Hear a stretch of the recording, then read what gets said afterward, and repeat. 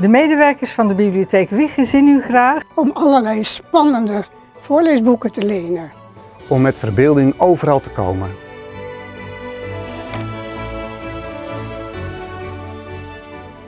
Voor al uw e-books en online tijdschriften. Voor al je vragen over QR-codes, DigiD en websites van de digitale overheid. En alle andere activiteiten die je in de bibliotheek kan doen. We wensen iedereen fijne feestdagen en een gezond nieuwjaar.